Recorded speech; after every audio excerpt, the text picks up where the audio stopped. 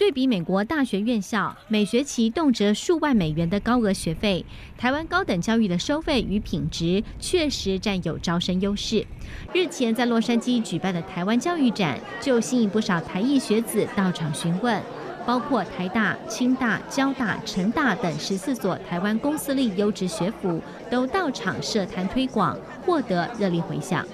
外国学生或是我们的台裔，尤其在生医方面，他会。很想说，在比较学费的优势，我们的学费是非常的合理，他们是 affordable 的，好，我们的人民是很友善的，好，英语环境也非常好，我们提供很多的英语的课程。台湾尤其是 STM 领域，其实教科书几乎都跟美国大学一样，就课程内容深度和这个内容，我是觉得没有什么太大的差异。参展的台湾校方认为，台湾除了学费较便宜、专业领域较成充实外，能来宝岛学中文也是相当不错的收获。计划来台深造的美国女大生也肯定台湾多元丰富的学习环境。I actually study uh, geography and environmental studies, and I think Taiwan's also a great place to learn about some sustainability practices and um, some endangered species. They have a lot.